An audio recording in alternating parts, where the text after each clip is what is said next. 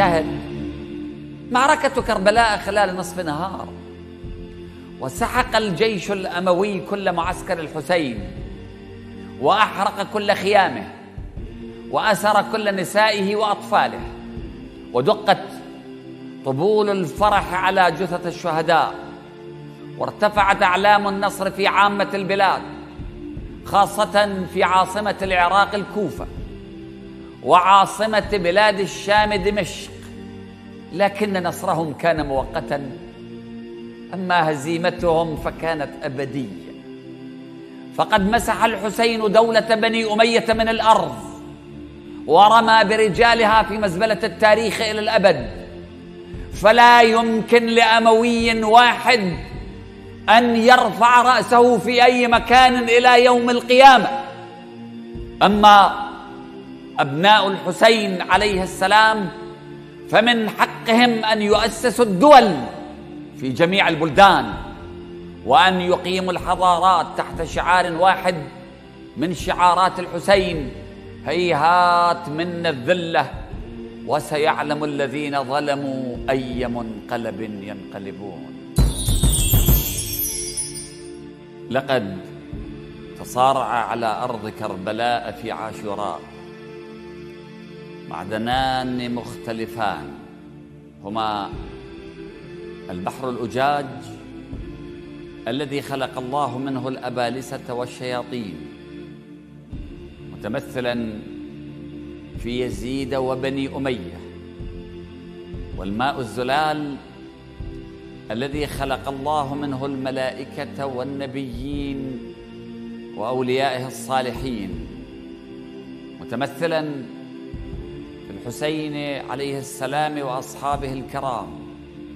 أما أنصار الطرفين فكانوا من نطفة أمشاج ابتلاهم الله في كربلاء بذرية نبيه. فمنهم من آمن وعمل صالحا ثم اهتدى إلى الحسين ومنهم من ارتد وكفر ونصر يزيد. لكي نفهم ثورة الحسين عليه السلام. فلا بد أن نوزنها بمقاييسها وليس بمقاييس غيرها من الثورات الكبرى في التاريخ. فهذه الثورة الربانية المباركة إنما تقيم بناء على أمرين. الأول بناء على دوافع الطرفين في المواجهة. الثاني بناء على نتائج مواقف الطرفين. ولا شك أن دوافع الحسين في ثورته ونهضته كانت هي دوافع جميع الأنبياء والرسل أي الإصلاح في الأرض حيث لا أسألكم عليه أجرا. وما سألتكم من أجر فهو لكم. بينما دوافع أعدائه كانت السلطة حيث أنا ربكم الأعلى ولا أريكم إلا ما أرى. والإثرة والحصول على مغانم الدنيا. أما النتائج فقد فشل الأعداء من حيث انتصروا.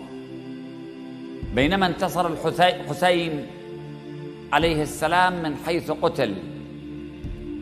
صحيح أن الأعداء قضوا على الحسين في سويعات لكنهم فشلوا في تبرير جريمتهم بحقه وفشلوا في تخطئة مواقفه مع أنهم سخروا كل موارد إمبراطوريتهم خلال ستين عاما من أجل ذلك. وهكذا أفشلهم الحسين وهو قتيل من حيث نجحوا وهم القتلة.